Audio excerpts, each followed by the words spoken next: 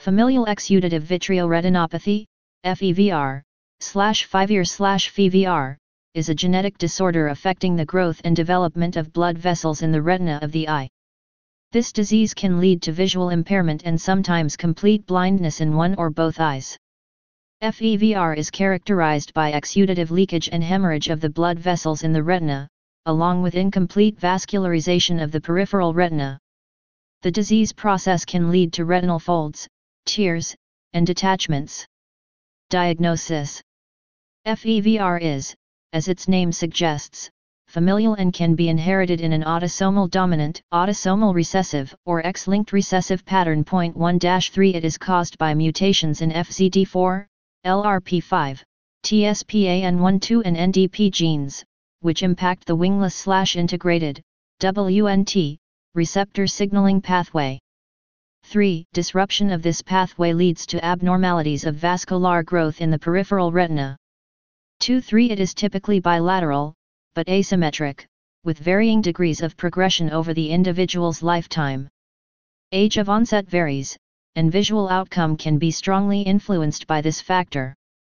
Patients with onset before age 3 have a more guarded long-term prognosis whereas those with later onset are more likely to have asymmetric presentation with deterioration of vision in one eye only.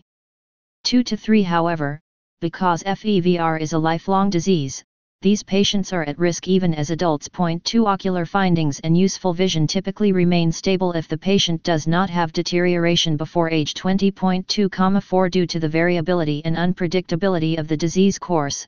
Patients with FEVR should be followed throughout their lifetime. Clinical presentation can vary greatly.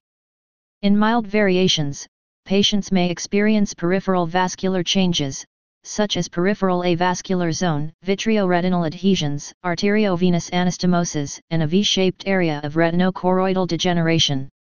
Four severe forms may present with neovascularization, subretinal and intraretinal hemorrhages and exudation.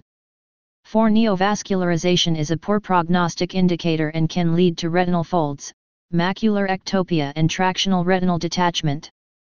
2,4 Widefield FA has been crucial in helping to understand this disease, as well as helping to confirm the diagnosis.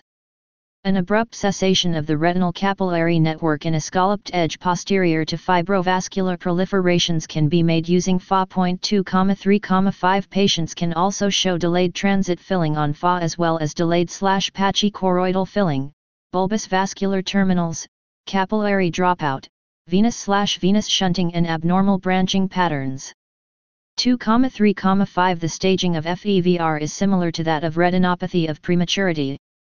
The first two stages involve an avascular retinal periphery with or without extraretinal vascularization, stage 1 and 2, respectively. Four stages 3 through 5 delineate levels of retinal detachment, stage 3 is subtotal without foveal involvement, Stage 4 is subtotal with foveal involvement and stage 5 is a total detachment, open or closed funnel. Point 4 Because there was neovascularization in the absence of retinal detachment, our patient was considered to have stage 2. Treatment Treatment is based on the stage of the disease. Stage 1 does not require treatment and should be observed.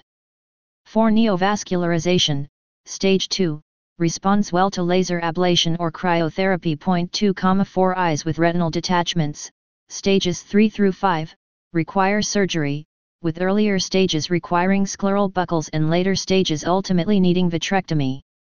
2, 4 More recently, the efficacy of anti-VEGF intravitreal injections has been studied.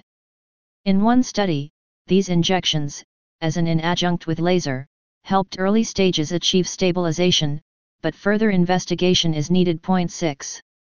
Please subscribe and thanks for watching.